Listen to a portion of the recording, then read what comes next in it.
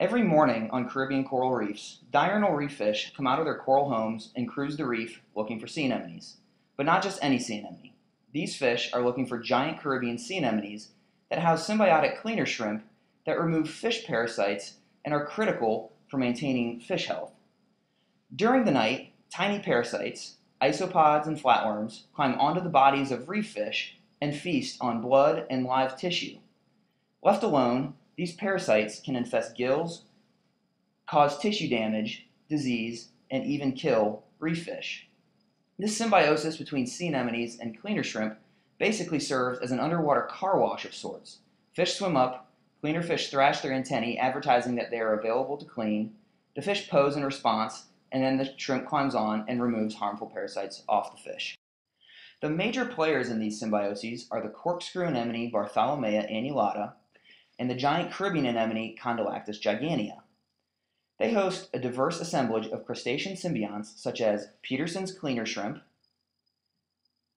the spotted cleaner shrimp, and the sexy shrimp, Thor amboinensis. Additionally, the corkscrew anemone hosts the snapping shrimp Alpheus armatus that actually protects the anemone from predatory fireworms. All in all, this is a very complex yet important multi-level symbiosis on coral reefs. So where does my research come in? Well, lots of people study reef fish and the corals that make up these amazing ecosystems, and with good reason. But I'm interested in these sea anemones and shrimps that play an important role behind the scenes. Specifically, I want to know how the symbiosis between the anemones and shrimp are maintained over large geographic distances. Because these animals are so different, their offspring, or larvae, have different dispersal potential.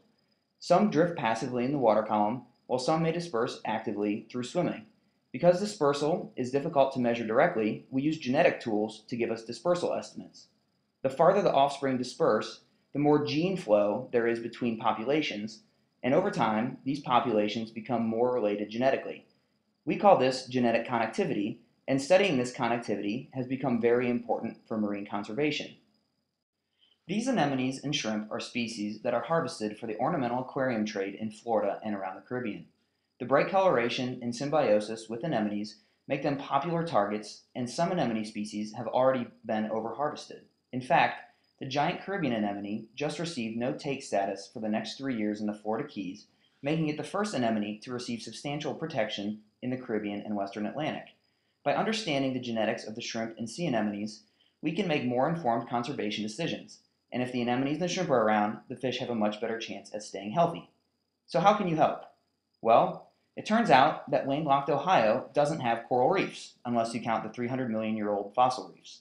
The closest living reef is 1,200 miles away, so I am asking for $750 to help fund a one week collecting trip to the Florida Keys. This project is part of my PhD research at The Ohio State University, and any additional funds will be put towards data analysis or future trips.